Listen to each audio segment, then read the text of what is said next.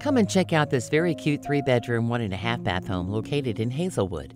This home has nice hardwood floors throughout, with an open kitchen that flows into the large family room with wood burning fireplace.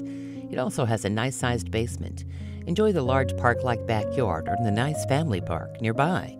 Make yourself at home by scheduling a tour with Quiana Harrold.